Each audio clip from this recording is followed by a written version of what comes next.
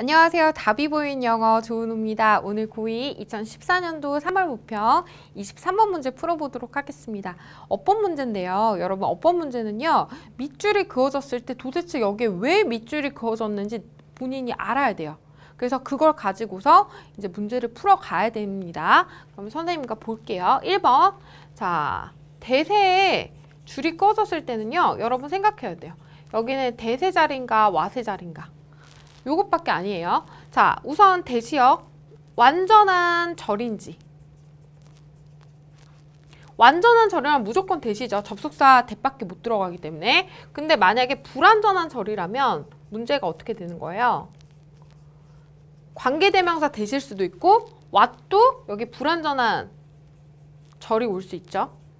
그러면 이제 두 개는 뭘 봐야 돼? 앞에 선행사가 있는지 없는지 봐야 되는데 우선 뒤에 절이 완전한지 불완전한지 먼저 보고 판단해 보도록 할게요. 자 볼게요.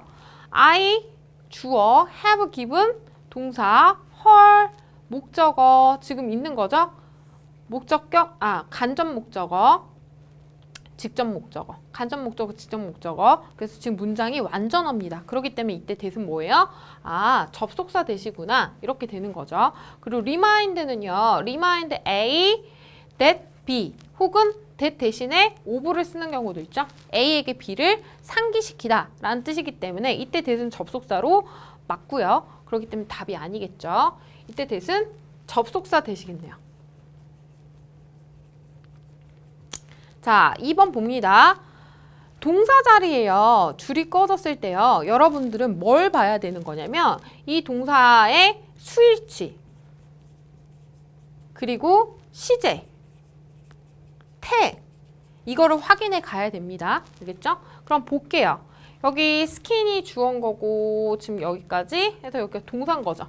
스킨은 단수예요. 그쵸? 근데 폼 맞나요? 단수 동사 와야죠. 여기 뭐 해야 돼요? forms 이렇게 돼야 되는 거죠. 그래서 답은 2번이 되겠습니다. 그렇죠? 지금 여기 수일치 문제에서 틀렸어요. 틀렸어요. 그래서 답은 2번이고요. 자, 3번 볼게요. 지금 뭐예요? clearly 품사 뭐죠? 부사죠. 부사는 누구와의 싸움입니까? 여기 부사와 형용사와 이 문제예요. 결국에 부사의 줄이 꺼졌다는 뜻은 알겠죠? 자, 그럼 두 개의 차이점 뭐죠? 부사는 누굴 꾸며줘? 동사나 형용사나 그 다음에 부사나 문장 전체를 수식하는 거죠. 형용사는 누굴 수식해줘요? 명사를 수식하는 거죠. 둘 다 수식이라는 동일한 역할을 하지만 대상이 다른 거예요. 그쵸? 그렇기 때문에 대상을 봐야 되겠죠? 자, 봅니다. 저는요, 제 자신을 분명하게 봤어요. 이 분명하게는 누구의 의미를 지금 강조해 주는 거예요? C라는 동사의 의미를 풍부하게 해주는 거죠. 그러면 clearly는 누굴 꾸며주는 거야? C를 꾸며주는 거죠. 그러면 동사를 꾸며주는 거기 때문에 부사 형태 잘 쓴 거죠. 그래서 3번도 맞았고요. 그 다음에 4번 볼게요. 자, 4번에 보면 to succeed. 이거는요, 지금 에밀리는요, 욕구를 가졌어요. 어떤 욕구? 성공하고자 하는 욕구. 그래서 to부정서, to부정사의 형용사 역할을 말하고 있는 거라서 to부정사의 형용사를 쓸 수 있죠. 그러니까 이것도 맞는 거고요. 자, 5번 봅니다. 헐셀프의 줄근 건 뭐예요? 제기대명사죠. 여러분 제기대명사 보통 어떨 때 써요? 주어와 목적어와 목적어가 같을 때 이 목적어 자리에 쓰는 게 제기대명사예요. 그쵸? 그럼 볼게요.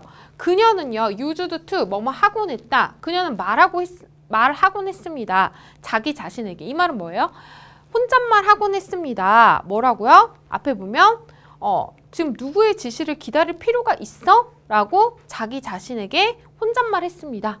하곤 했습니다. 이랬죠. 그래서 여기 제기대명사 쓴 거 전혀 문제가 없죠. 주어와 목적어가 같기 때문에. 그래서 답은 2번이 되겠습니다. 궁금한 점은 댓글로 남겨주시고요. 저는 다음 문제에서 만날게요.